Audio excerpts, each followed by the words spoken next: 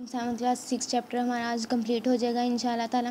सबसे पहले जो हम लोग इसका लास्ट लॉन्ग क्वेश्चन करेंगे, वो है state the law of constant composition and give examples constant law of composition को आपने स्टेट करना है, बिल्कुल एज इट इज़ करना है, उसके बाद उसकी एग्जांपल्स बतानी है। पेज नंबर सिक्सटी फाइव पे हमारे पास इसका आंसर है।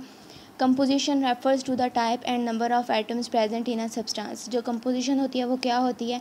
ये किस किस्म का है और कितने नंबर ऑफ़ आइटम्स हमारे सब्सटेंस के अंदर पाए जाते हैं, उसे, उसकी कंपोजिशन कहा जाता है। In the late seventeen hundred a French scientist, Joseph Ross stated the chemical compounds are present in, presented the law of constant composition. तकरीबन सत्रह सौ सदी में जो फ्रेंच साइंटिस्ट था जोसेफ रोस्ट उसने केमिकल कंपाउंड्स को स्टडी करना शुरू किया। और उसके बाद उसने उनको स्टडी करने के बाद उनकी कंपोजिशन के बारे में एक ला पेश किया, जिसे the law of constant composition कहा जाता है।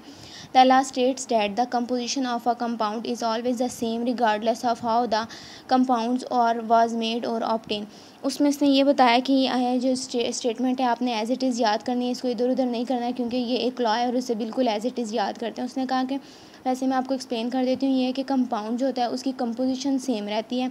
चाहे वो किसी भी तरीके से हासिल किया जाए, उसे किसी भी तरीके से बनाया जाए, उस कंपाउंड को, उसकी जो कंपोजिशन है, जिस चीज़ों से वो बनता है, वो सेम रहती हैं। उसके पास हम पे एग्जांपल्स दी गई थी। दो एग्जांपल्स हैं, हमारे पास फ़र्स्ट एग्जांपल हमारे पास वाटर की है।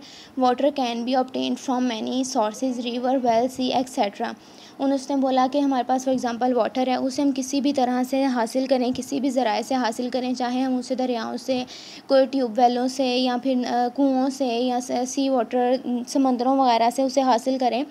But it's composition is always the same लेकिन इसकी जो कंपोजिशन है, जिन चीज़ों से ये बनता है, जिन सब्सटेंसेस से ये बनता है एटम के वो सेम रहते हैं. There are two atoms of hydrogen and one atom of oxygen present in the molecule of water उसने कहा कि हम जहाँ से मर्ज़ी पानी को हासिल करें, लेकिन हमारे पास जो पानी है, उसमें दो एटम्स हाइड्रोजन के रहेंगे और एक ही ऑक्सीजन रहेगा. ना ये ज़्यादा होगा, ना ये कम होगा और हमारे पास एच टू वो वाटर ही बनेगा.